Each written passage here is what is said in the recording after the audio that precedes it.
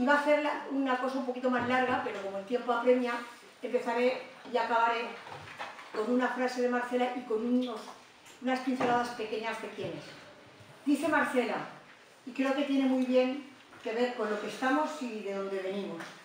La enredadera feminista se hace de muchos nudos y de muchos lazos, que se tienden imperceptiblemente para los ojos controladores de los del patriarcado.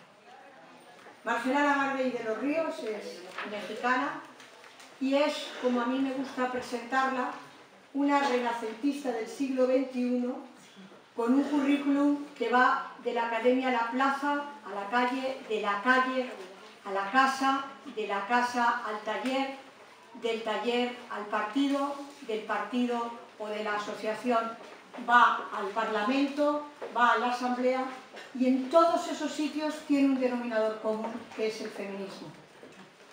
De allí también va a su despacho y a su, como ella dice, computadora, donde escribe esos maravillosos textos que nos sirven a todas de inspiración, de formación y de trabajo. En la academia ha hecho eh, seminarios, posgrados, cursos, ella es doctora en antropología y etnología y tiene quizá, como a mí me gusta decir, uno de los bestsellers académicos porque su tesis doctoral, que se llama Los cautiverios de las mujeres, madre esposas, monjas, putas, locas y presas, discúlpenme si no he hecho bien el orden, pero están, bueno, presas y locas, pero nunca se sabe una muy bien el orden, su tesis doctoral ha sido publicada solo en la universidad con más de seis ediciones, pero además ha sido publicada en España, publicada en el siglo XXI. Imagínense una tesis doctoral a la que algunas personas que la queremos con mucho cariño le llamamos el ladrillo, son 850 páginas y pesa un kilo de peso, lo tenemos comprobado, puede haber tenido tantas ediciones, tanta llamada y tanto aceptación de un texto que, insisto, es académico, es una tesis doctoral, pero nos ha llegado y nos ha permitido a todas avanzar. En su parte, eh, eh, digamos, feminista de movimientos, está en redes, eh, asesora a muchas asociaciones y a muchas organizaciones de mujeres, sigue trabajando en múltiples plataformas, no solo de América Latina, de México, de América Latina y también en España. Muchas aquí en Andalucía la conocéis porque ha trabajado mucho tiempo formando al movimiento asociativo de mujeres, especialmente en un lugar maravilloso que, como a mí me gusta decir, que no soy andaluza, solo tiene Andalucía, que es el Carmen de Burgos, un centro de formación eh, feminista. Y desde luego ahora es un poco más andaluza porque desde el lunes, como ha dicho eh, la coordinadora, Pepi es premio Meridiana, con lo cual el premio Meridiana la hace estar más pegadita aquí a este lugar al que ella le tiene tanto cariño. Marcela ha escrito, yo creo que en torno, no sabría decir cuántos artículos, porque cada vez que ella presenta una ponencia, casi esa ponencia es un nuevo artículo, un nuevo texto, y ha escrito muchos libros, algunos de los cuales están aquí editados en España, en la eh, editorial Horas y Horas, que a ella tanto le gusta con su amiga editora Elena de las Heras, que en este momento ya no está entre nosotras y entre nosotros. Además, Marcela hace algo que para todas nosotras que venimos del movimiento asociativo de mujeres, que trabajamos día a día en, construir un mundo mejor y más justo, hace algo que para nosotras ha sido clave, los talleres de formación feminista que nos han permitido a todas seguir y aprender. Eh, podría decir, bueno, podría pasarme la mañana hablando de ella porque cuando una lee su currículum, lo digo de verdad, tiene más de 100 páginas de cosas y cosas y cosas. Lo digo con mucho cariño, por eso yo digo que es una renacentista que hace de todo, pero a mí me gustaría destacar de esta última parte de su vida algo maravilloso, que además la hace muy colega de alguien a quien yo adoro y que, por la que todas nosotras estamos aquí, que se llamó y se llama Clara Campoamor. Ella ha sido constituyente y ha participado en la constitución de su ciudad que se ha convertido en un nuevo Estado. Así que tienen ustedes a una constituyente, que no es una cosa que se vea todos los días, y además de una constitución feminista y por los derechos humanos que aún se ve menos. Clara Campoamor hizo lo que pudo, pero su sella y como ella dice, sus semillas se han ido más allá. Quizá destacar de Marcela algo que no siempre conocemos. Marcela es una mamá entrañable, una abuela deliciosa, su nieto está, yo creo que enamorado de su abuela, entre otras cosas. es mutuo. Es mutuo, enamoramiento mutuo. Y además es amiga de sus amigas, le encanta la cocina. Ella ha acuñado, entre otras muchas cosas, feminicidio, sororidad, otro término que nos encanta que es feminismo gourmet. Ese que nos hace no solo pensar, sino comer y disfrutar. Así que, como ella dice, la mayor transgresión política de las mujeres es su alianza, su coalición, la sororidad. Marcela Lagarde.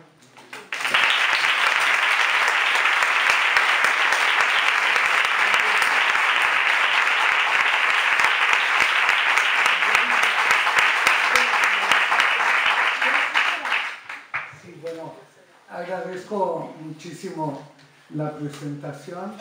Agradezco tanto como, como pueda que me hayan incorporado a su presentación pública y que me hayan dado el micrófono. Es de veras mm, algo formidable para mí poder hablar y hablar como una más de ustedes y yo feliz creo que dije más o menos lo que cualquiera hubiera dicho eh, en torno a la huelga de mañana. ¿Qué quieren que hagamos? ¿No, no funciona? Está muy, hace, un, hace un ruido, ¿verdad? Horrible. Eh, ¿Saben qué es que está haciendo? Sí, tienes que apagar. Es con este, es con este. Ya, ya. No se puede apagar. A ver, mira no se puede apagar. ¿Ya sí? ¿Allá está? ¿Escuchan? ¿Sí? Yo no. A ver, digan hola. Bueno, eh, vamos a ver. Le digo a Neus que de todos los temas que estamos abordando, cuál sería importante para ustedes y, significativo. Y me parece que habría muchos temas lo que fuimos a hacer ahora, que es una manifestación pública, eh, es una manifestación pública asociada al feminismo. La huelga de mañana es una huelga feminista, no es la huelga de cualquier tipo de visión del mundo, es la primera huelga feminista global que nos planteamos hacer mujeres de muy diversos países, culturas, religiones, eh, bueno, lo han dicho ustedes, incluso de partidos políticos diferentes, de posiciones políticas distintas, pero que, y este es el punto que me parece que debemos eh, analizar y destacar bien, pues para sacarle jugo. Lo importante de toda esa diversidad es que la huelga se plantea como un hecho de personas diversas, no es un hecho de personas uniformes, de personas que respondan a una identidad cerrada.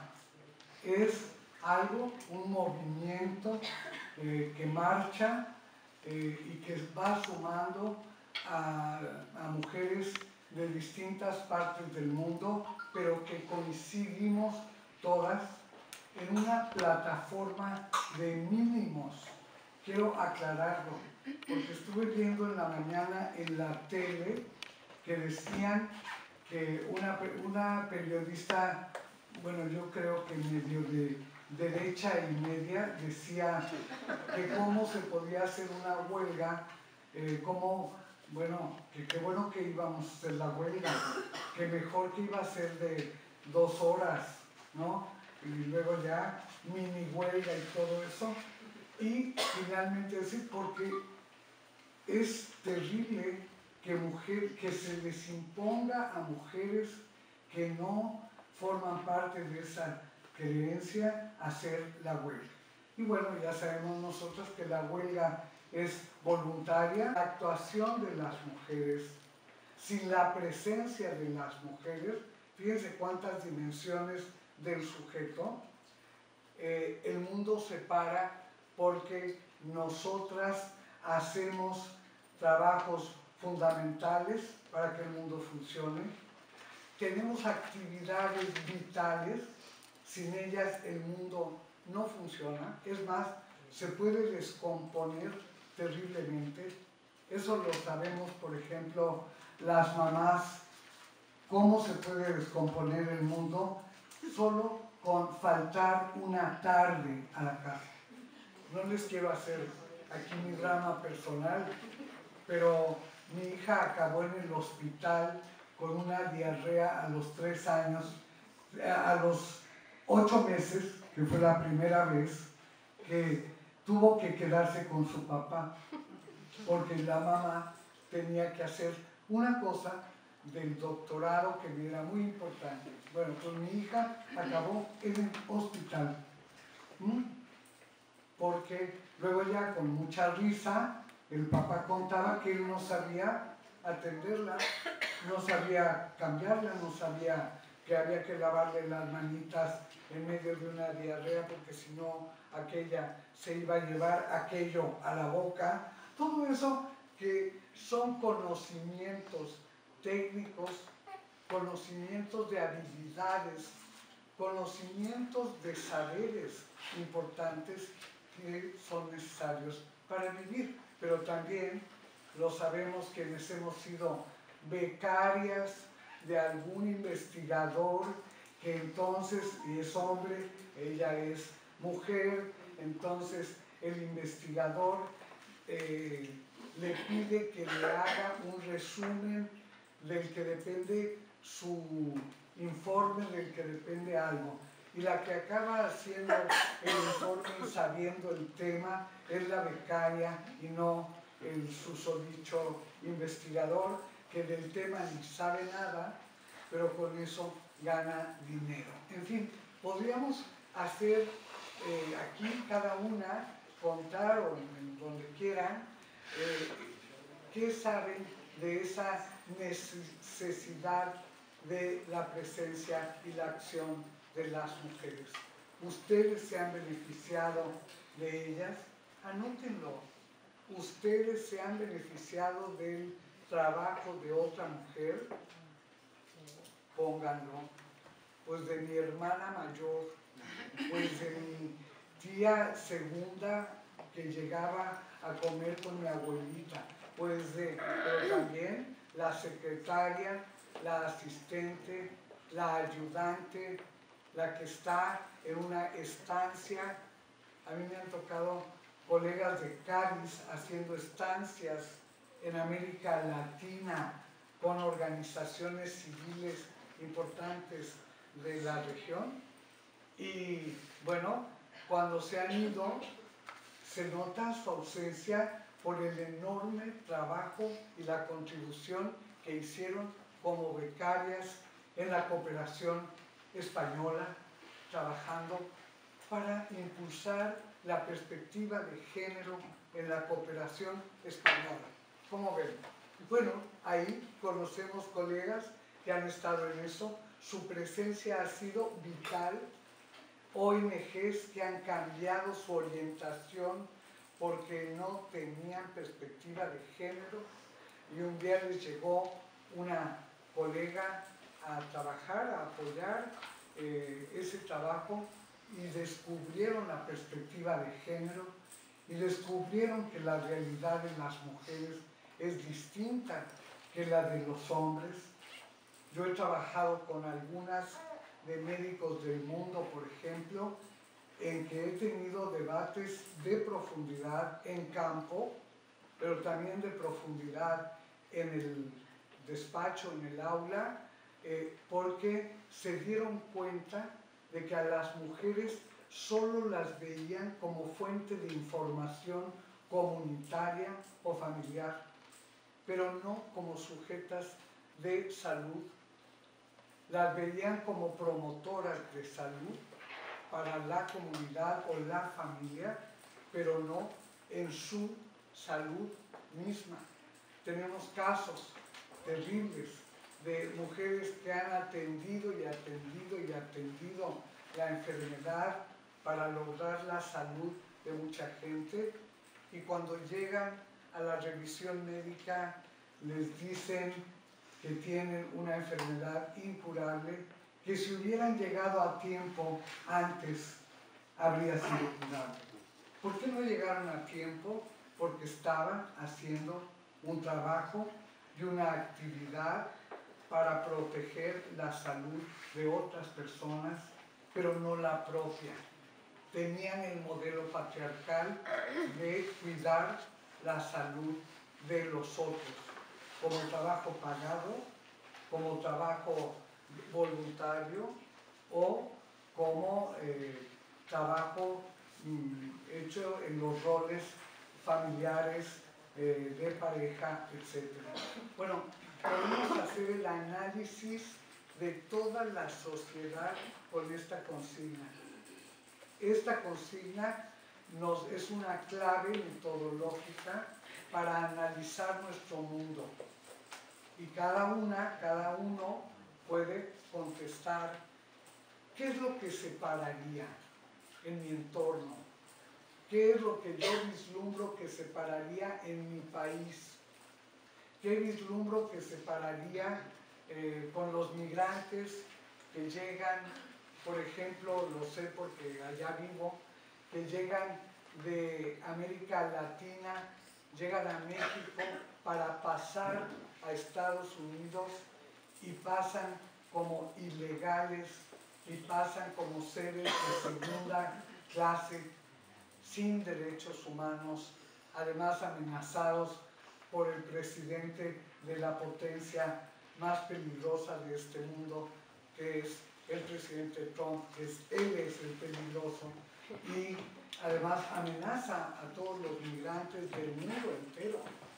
En, en el caso de México, no sé si han visto, pero ya la parte de muro que no había, porque ya había muro, pero la que no había, es altísima, es más alto que esto, es para que de veras no pasen ni las hormigas, no pase nadie.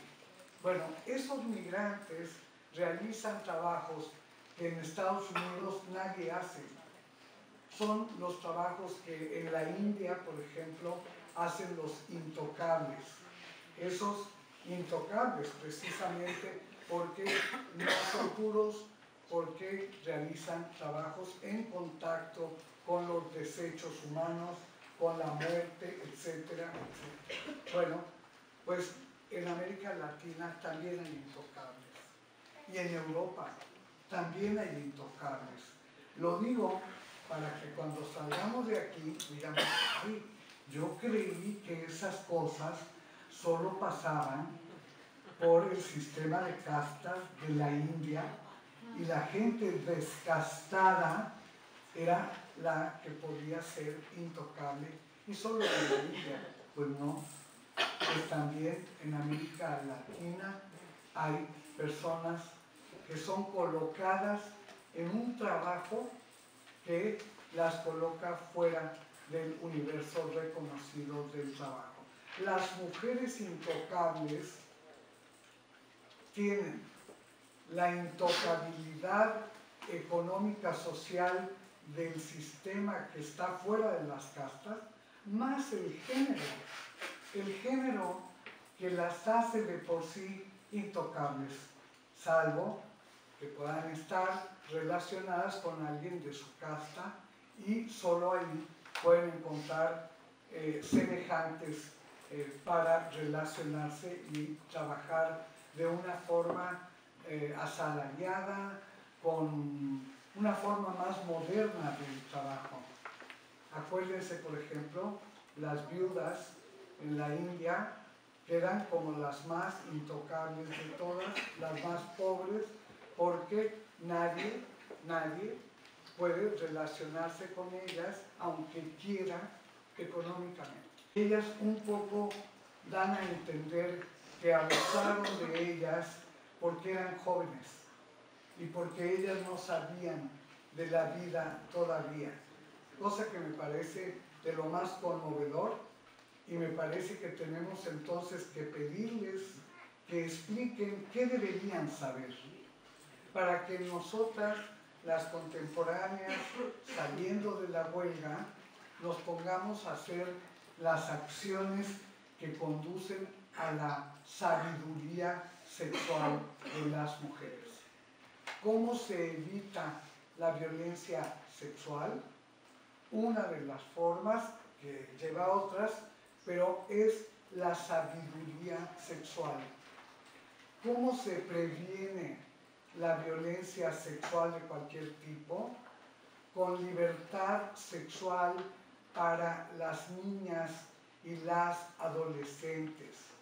Sabiduría, conocimientos profundos de sexualidad, de su sexualidad y también libertad.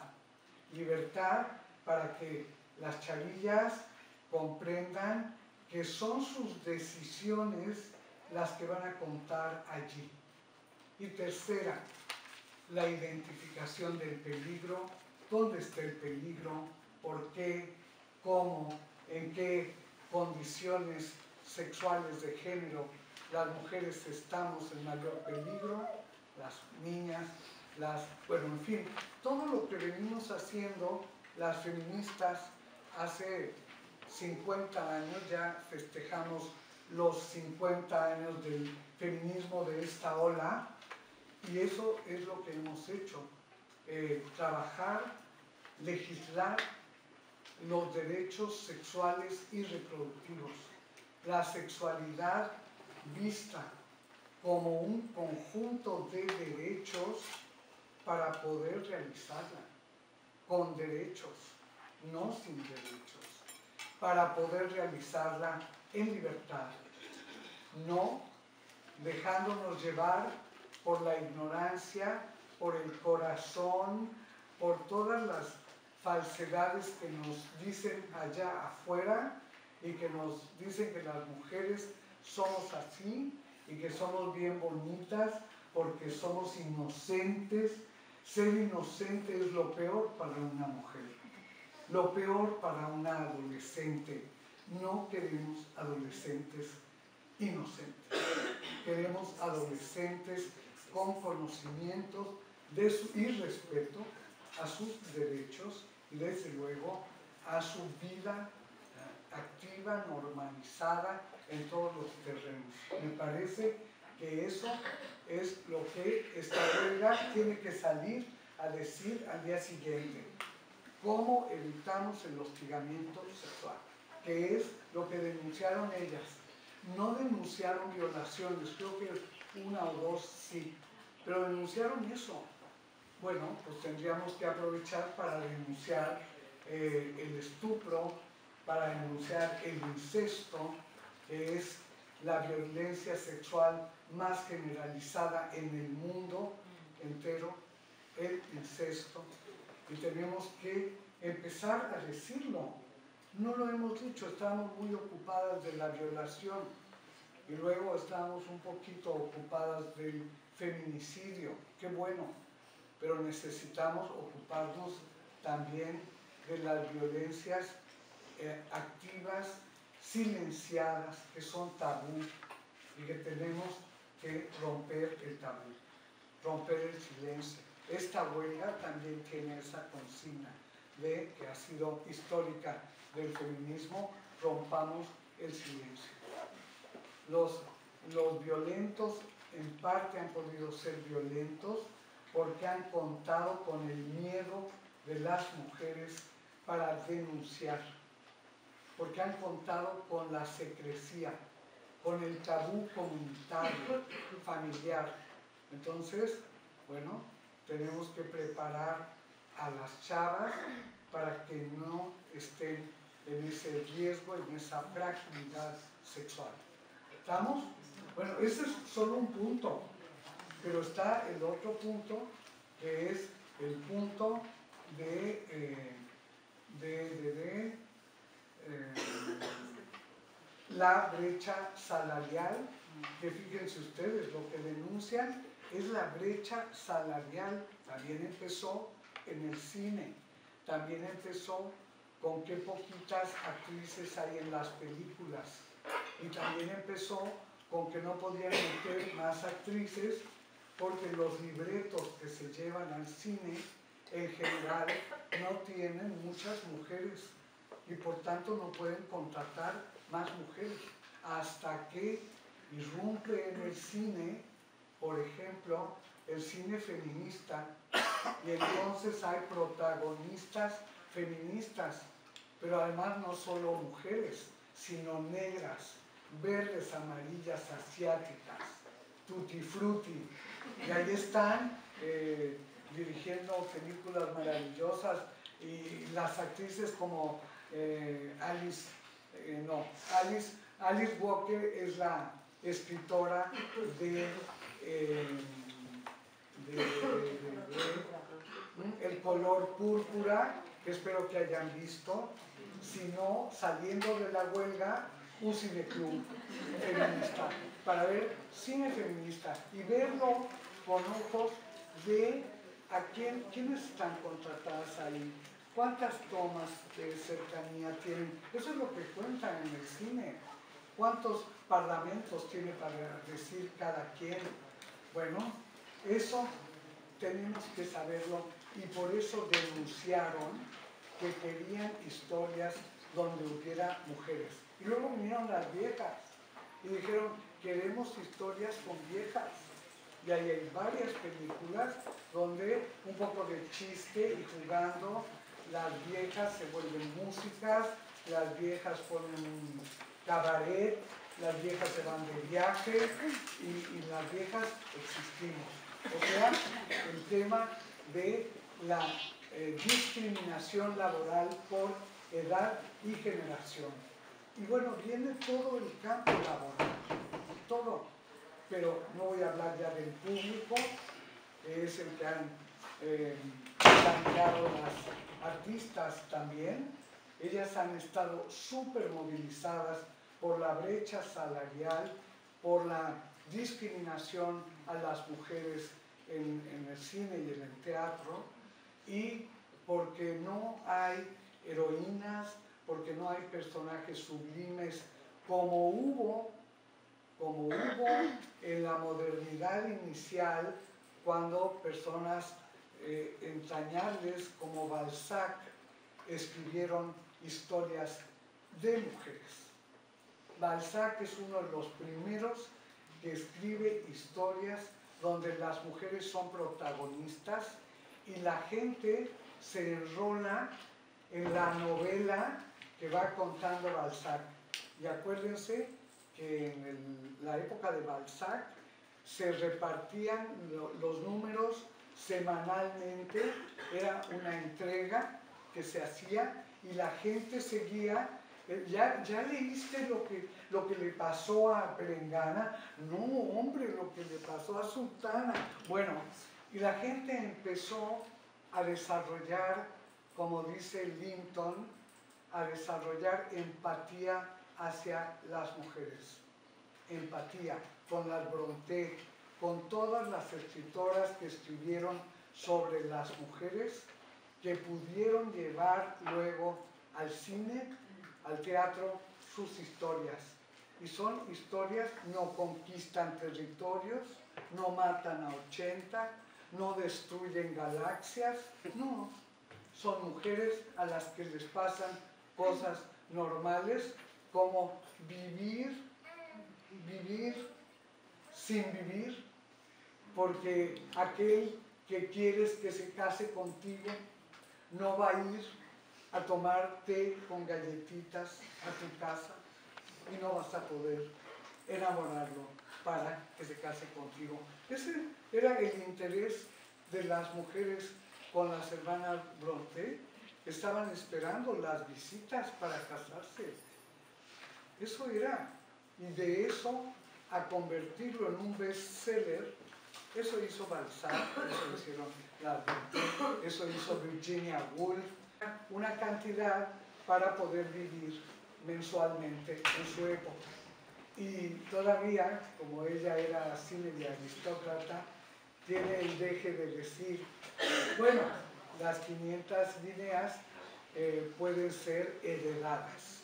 O sea, si aceptamos herencias, las feministas, no nada más ganarlo con el sudor de nuestro cuerpo, no, también herencias. Entonces pónganse abusadas con las herencias, pónganse abusadas, porque luego pasan historias que algún día hay que llevar a la literatura. Bueno, hay que tener eso, hay que tener, desde luego, una habitación propia. Una habitación propia quiere decir un lugar donde esa mujer siente que ese es su lugar, no la, su cama, que es la cama de todo el mundo en la familia, que ahí se ve la tele, que comen palomitas, que se cae el chocolate, no. Un lugar que no sea la cama familiar, que sea un lugar propio de una misma, para poder entrar en estado de mismidad. ¿eh?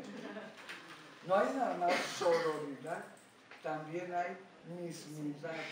Estado de mismidad es no estar conectado con nadie, con nadie, ni llevarse el celular, ni el teléfono, ni una paloma mensajera, nada, para que superando el nervio de estar totalmente sola, poder conectarse con qué es estar sola, qué siento, por qué me pasó esto el otro día, a dónde quiero ir de vacaciones. O sea, lo que se le pegue la gana, pero no la lista, como se dice en mi país todavía, del mandado. O sea, esa lista de la compra no se hace en la habitación propia. Se hace en cualquier lugar donde una está trabajando para los demás. Entonces, eh, ya van dos cosas, ¿verdad? el cuarto propio el cuarto propio, el dinero y el tiempo. El tiempo que en este momento, después de la huelga, tendremos que hablar mucho del tiempo de las mujeres. Porque el tiempo de las mujeres no es de las mujeres, es de los otros próximos a las mujeres, los novios. ¿Vieran cuánto tiempo cuestan? Cuesta muchísimo tiempo. Luego algunos hasta se van y oye, no dan un reembolso por el tiempo invertido. Eso me lo enseñó un constitucionalista eh, que estaba, era más feminista que nosotras, decía, y él me enseñó que en el Código Civil tendríamos que poner un Estado que no es el de los esposos sino de los esponsales, para que hubiera pena por si no se casa el esposo pedido como pedida ella, no se casa con ella, y entonces le reembolsa una suma que como en la época de Balzac, los abogados de las partes se ponen a discutir cuánto va a ser, para no entrar en problemas. Y entonces, el tiempo de las mujeres es el tiempo de sus hijos y, sus hijas, es el tiempo de sus esposos, es el tiempo de sus novios, es el tiempo de sus padres, es el tiempo de sus vecinos, es el tiempo para todo el mundo, para sus amigas, es el tiempo para esta amiga de esta amiga, es el tiempo que no es mi tiempo. Para escribir necesito un tiempo propio. Si no, no voy a escribir nunca. Voy a pensar cosas y se me van a ir los pensamientos. Los pensamientos se van, se van, son efímeros. Entonces una necesita tener siempre, no nada más una computadora, porque ya somos de computadora, sino un lápiz para escribir en cualquier lugar, en un pedacito de algo. Yo traigo siempre una libretita donde apunto cosas que dijiste tú, que dijiste tú, que dijiste y que yo aprendí de esta vez. Entonces ya ese tiempo se modifica porque me tiene a mí como sentido de la vida y ya no solo a los otros. O sea, aparentemente el tiempo es el mismo, pero ya no lo es. Tercera, cuarta, las mujeres contemporáneas, ustedes, han nacido en una época de transición. En este país es muy famosa esa palabra. Pero bueno, es una transición histórica en eras patriarcales. Estamos viviendo un tránsito que se produce por las reformas sucesivas que le hemos hecho a los patriarcados locales y al patriarcado global. Lo hemos reformado. Hemos reformado la cosa para lograr, algún día lo lograremos, que a las viudas en la India no se les queme en la misma pira funeraria que a sus maridos, que tengan derecho a vivir y lo vamos a lograr, como ya hemos logrado que en algunos países esté prohibida la mutilación genital de las niñas y de las mujeres, gracias a feministas entrañables como, como, ¿Eh? ¿Eh? Alice Walker, que ha sido una defensora de la integridad corporal, sexual, personal de las mujeres. Y me parece importantísima eh, que lo sepamos. Entonces, el tiempo, perdón, me tengo que volver, el tiempo de las mujeres se ha vuelto un tiempo modificado al principio del siglo XX había utopías muy importantes que planteaban eh, otro tiempo para las mujeres. Planteaban sociedades en que las mujeres podrían a cualquier edad estudiar si no lo habían hecho, prepararse, tener un oficio y una profesión. Y luego todo lo que ahora se considera mundo privado sería resuelto en el mundo público. Por ejemplo, la alimentación doméstica, el lavado de la ropa, el planchado de la ropa y todas esas cosas que hacemos las mujeres en la casa. La compra, todo eso estaría resuelto y se crearía, así decían, una nueva mujer que dedicaría su tiempo a prepararse, a participar en la vida social, a incidir, a hacer política, arte o lo que quisiera. Bueno, y había el modelo tradicional que era más bien eliminar aquellos pequeños pasos que se habían dado a favor de las mujeres y volver a las mujeres a la casa, a la maternidad, al cuidado, a la crianza y a todo eso. Todo el siglo XX estas dos posiciones estuvieron enfrentadas en muchos países.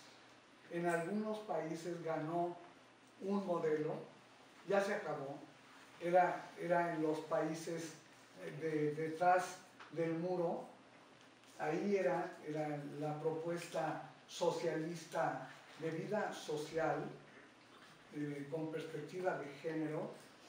Y estaba la otra que era esta propuesta de lo conservador y lo tradicional. En la mayor parte del mundo, fíjense lo que quedó. Si ustedes se ven, si ven allá afuera, lo que quedó es que las mujeres, muchas, sobre todo las jóvenes en los 70, nos incorporamos masivamente a los estudios universitarios en muchos países de Europa, de América Latina, del norte de África, de Asia, y se logró eso. Y muchas mujeres estudiaron carreras, profesiones, oficios, eh, no tuvieron problema de inmediato encontrar un trabajo, otras no, les costó más tiempo encontrar trabajo. Pero eran mujeres formadas, educadas trabajadoras con contratos colectivos, con conciencia de clase, de clase trabajadora, cosa que ha desaparecido porque ahora les gusta mucho eso de las clases medias. Y yo siempre pregunto, Neus, ¿esas son de clase media? Digo, para saber y entenderme, o son trabajadoras, porque es muy diferente cómo se nombra lo que la identidad que una tiene.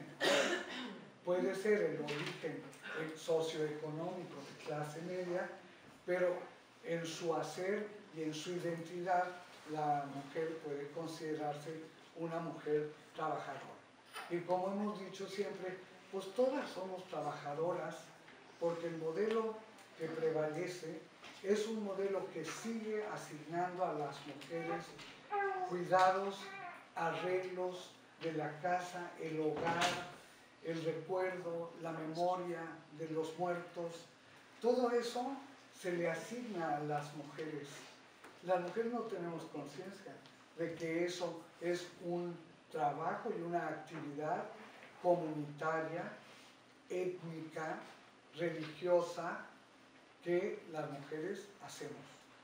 Y bueno, nos sentimos muy importantes y vamos a comprar la caja del muerto y lo velamos y le guardamos siete o nueve, ya no sé cuántos eh, rosarios por las noches y hacemos el chocolate y el pulque o el tequila según la región de mi país, el mezcal si van a Oaxaca, las mujeres hacen el cabo levantan la cruz, duran un año, un año en luto total. Díganme de quién es el tiempo de las mujeres con luto total, de quién es el cuerpo, de quién es el afecto, pues de esa persona que amó. Todo ese tiempo dedicado, mientras los demás ya se quitaron el luto porque se deprimen un poco, y entonces ya de rojo no es, no es verdad, así como tú estás de luto. Ah, no, o sea, eso hacemos, pero hacemos, ya para hablar en oro y plata, hacemos la doble jornada de trabajo. Les regalo el término, no lo desaparezcan, la doble jornada de trabajo. El trabajo público, asalariado la mayor parte de las veces, pero a veces es informal el trabajo, no sé, aquí dicen algo de en negro, eh, o sea, la mujer no tiene eh, derechos a través del trabajo, ¿no? sino que trabaja nada más así y tiene que hacerse cargo de su salud, de su, si quiere jubilarse un día, de su jubilación, en fin. Eh, lo que prevalece es la doble jornada de trabajo. Esa mujer que en la mañana se va a una oficina, se va a hacer o es maestra a una escuela y hace su trabajo y regresa para calentar la comida, hacer la comida, dar de comer, hacer la tarea con las criaturas, hacer lo que se espera de una mamá, nada más que ambas condiciones se espera que las hagamos las mujeres como si fuéramos tiempo completo, mamá de tiempo completo, eh, empleada de tiempo completo.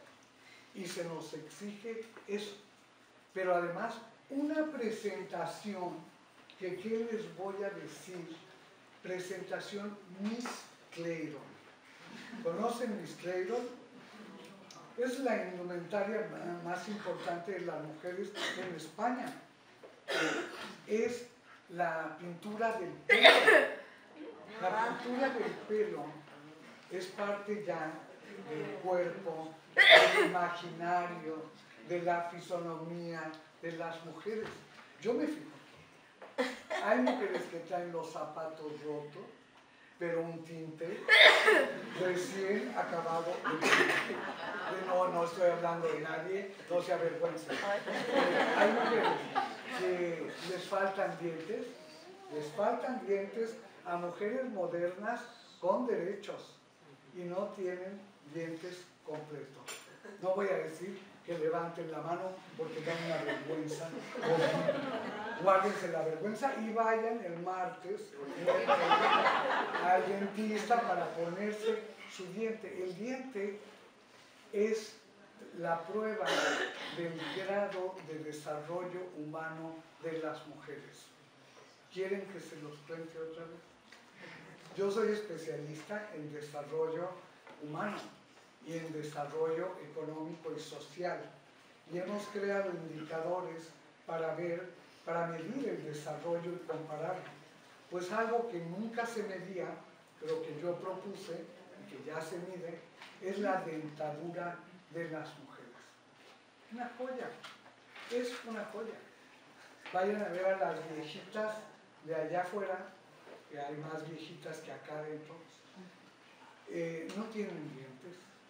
Son de una generación que no consideró necesario que esas mujeres tuvieran dientes.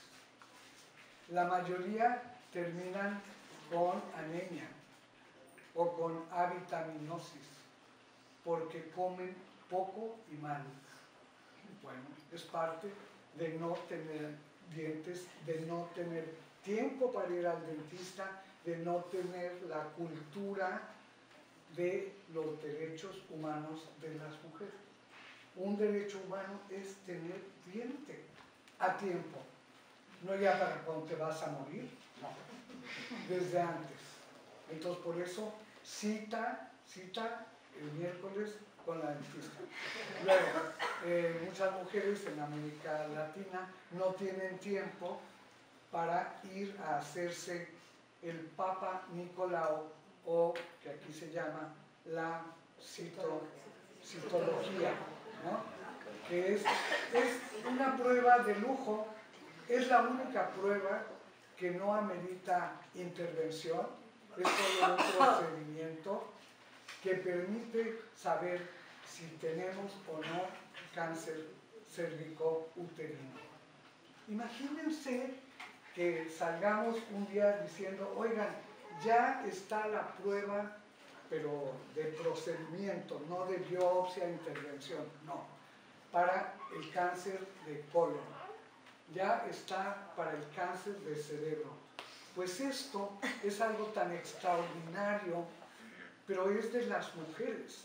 Por eso lo desvalorizamos, por eso no lo anunciamos con fiesta, con bombos y platillos.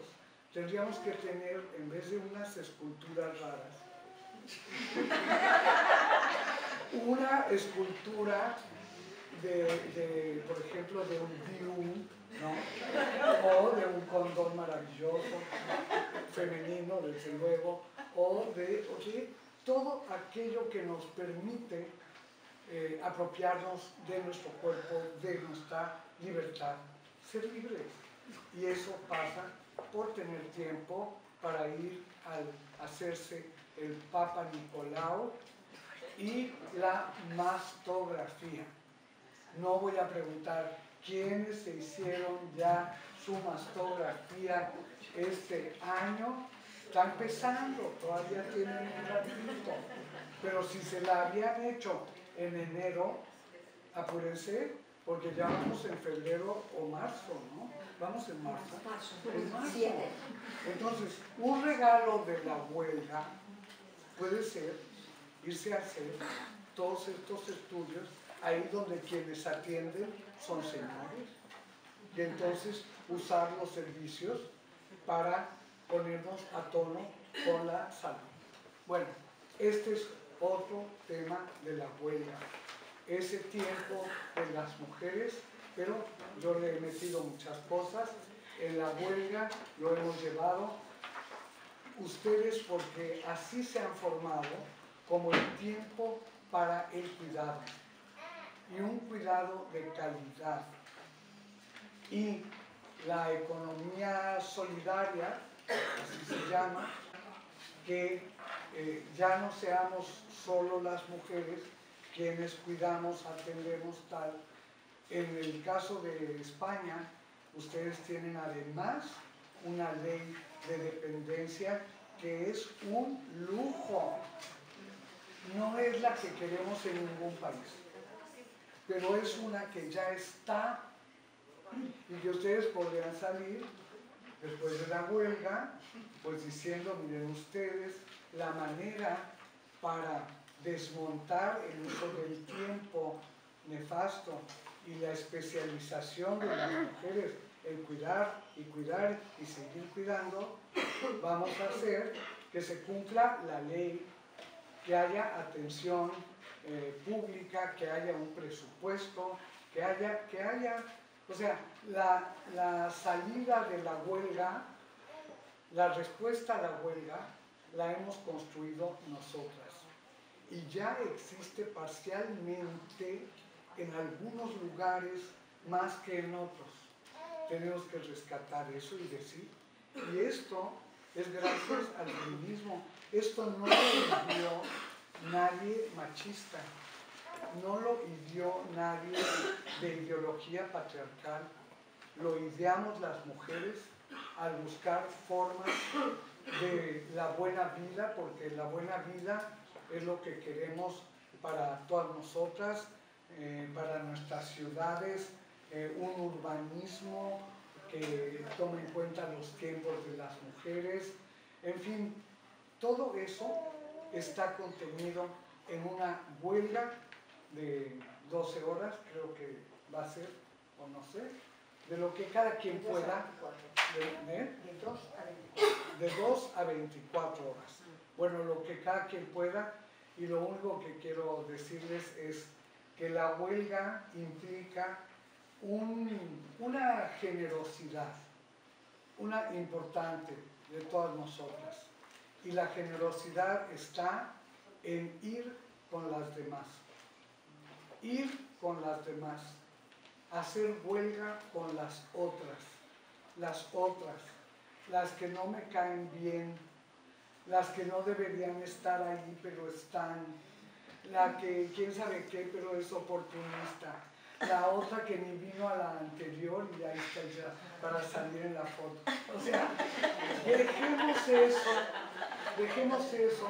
Yo, yo por donde voy hace 50 años, cuando llego a un punto de esto, digo, colegas, eh, dejemos las armas entre nosotros, abandonémoslas, dejémoslas descansar 12 horas Nada más 12 horas.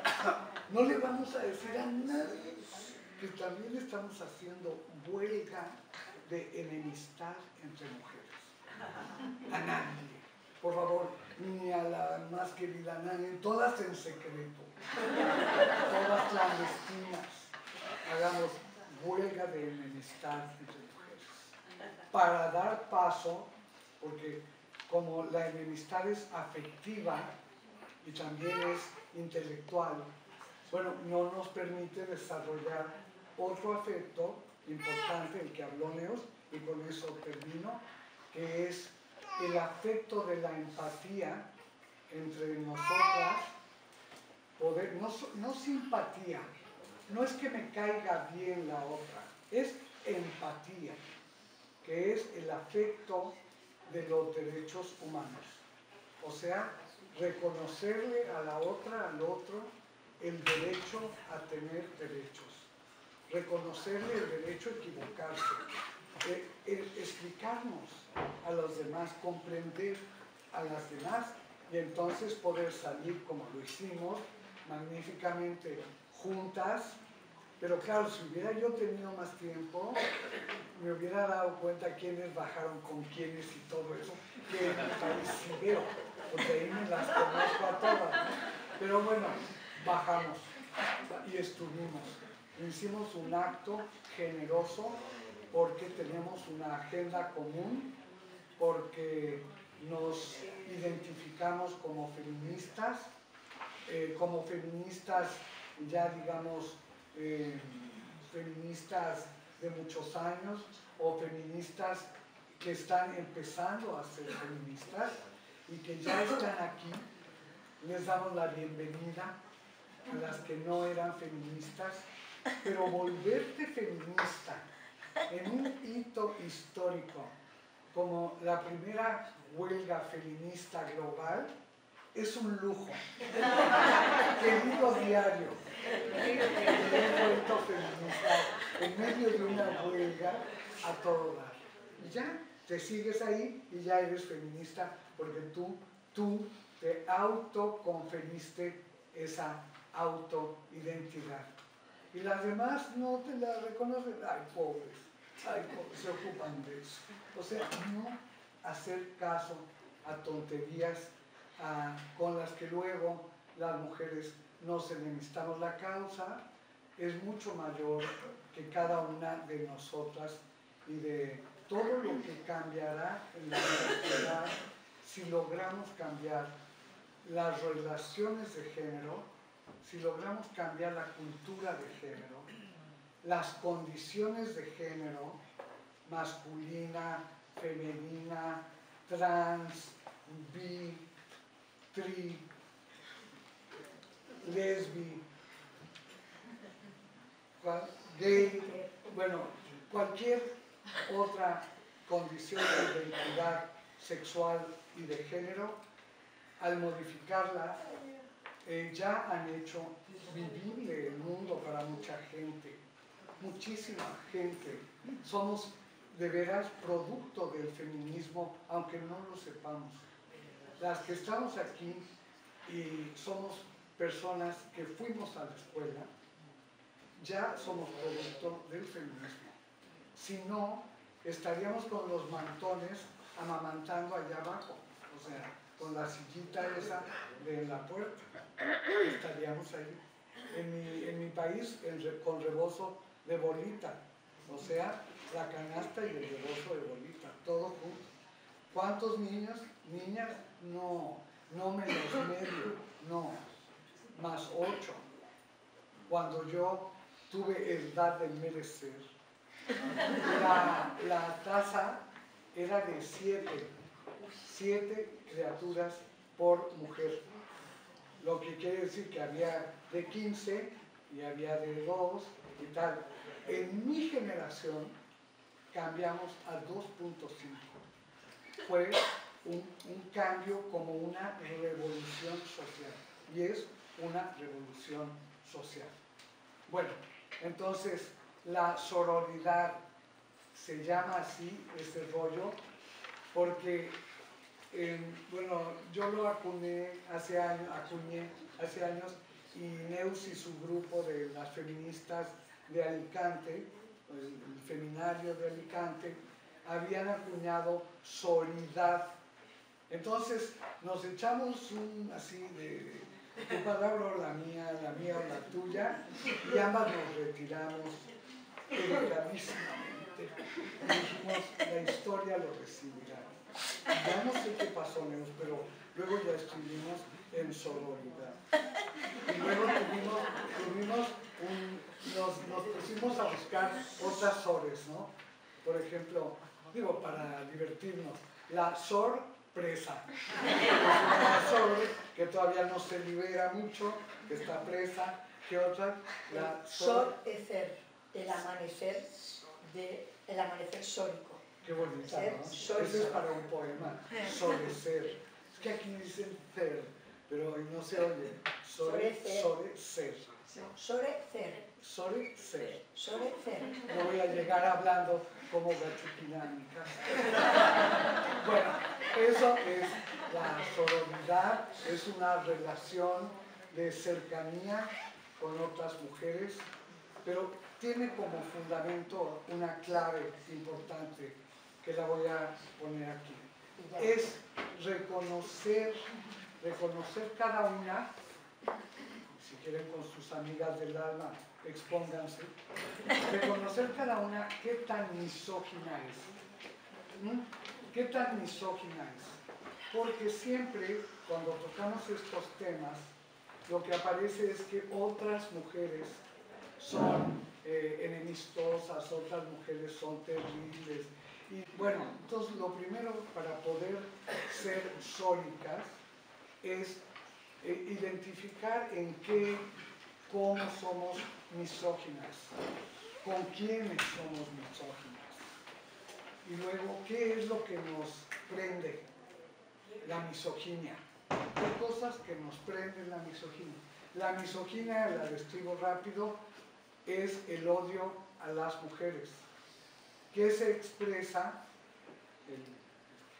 el afecto que es el odio, se puede expresar de muchas maneras, ¿no? como descalificación, como rivalidad extrema, como descrédito a mujeres, como eh, es, esas mujeres para las que nunca es suficiente nada.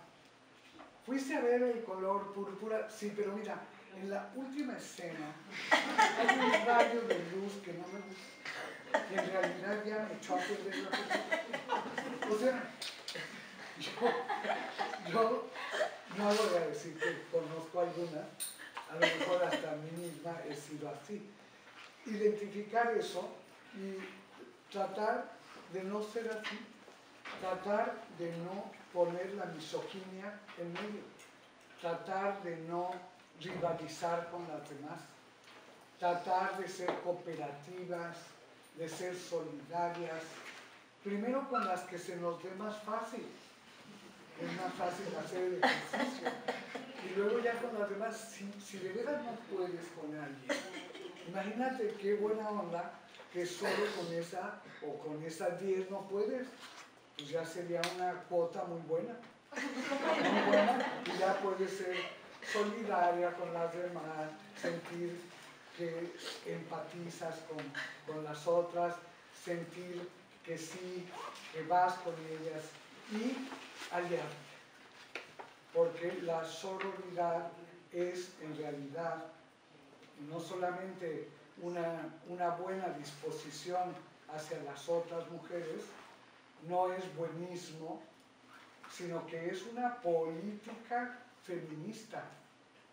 O sea, hacemos política feminista al hacer alianzas claras, duraderas, buenas, confiables con otras mujeres para hacer avanzar nuestras propuestas, nuestra causa, o para ayudar a cualquier desconocida. O sea, eh, dejar de ser misógina quiere decir en un autobús donde van manoseando a una chava, pues lograr que, que se haga un escándalo para que la dejen de manosear.